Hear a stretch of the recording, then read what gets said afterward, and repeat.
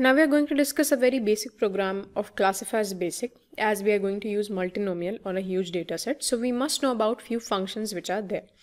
So here you can see that I have imported pandas firstly as PD and then I have given a few statements. That is, this is my book statement book. I like fictions in STMT. What is your favorite book question and Goeduhub technologies in Jaipur. These are the few statements which I have written.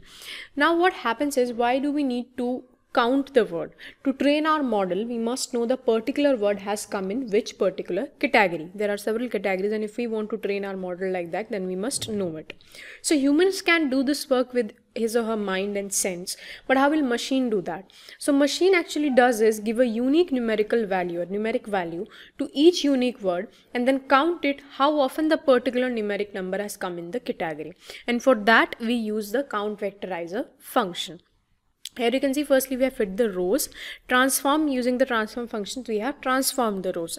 And then we have calculated the shape and then we have printed the array. In form of array we have printed it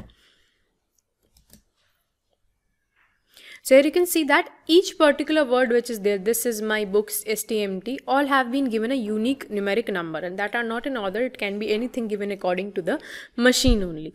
So that has printed and next we have printed the shape and also printed that in a form of array also.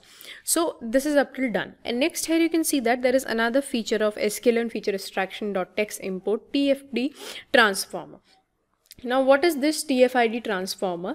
It actually does is weight the words in the classification that what is the weight of the words. If any words are which are repeated then it checks that. So the TFID transformer found out how many of its contribution to the model is in classification.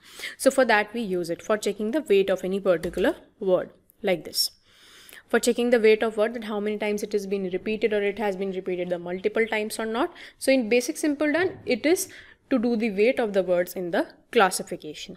So this is the basic which we have discussed and in our upcoming video we are going to implement with the help of the Gaussian second model which we have studied that is the multinomial classifier. We will use that in our upcoming video.